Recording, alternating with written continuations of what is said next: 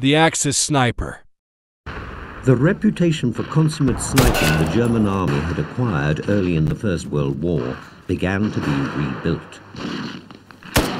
German snipers were trained to produce long-range fire that would show the enemy they were not safe and force them to go to ground. Marksmanship training was meticulous. Great care was taken of telescopic sights. The slightest knock might throw them out. The sniper was alone in picking his man and knowing who he was about to kill. The American sniper.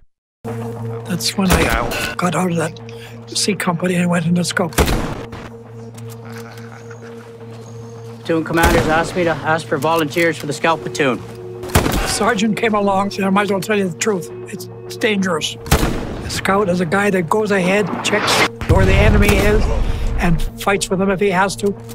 The advantage is you won't have to do sentry duty. Right away, that was a 20 plus for me. And I hated that. You had to fight all day and then cut guard duty all night. I'll join. Meanwhile, over on the British front line,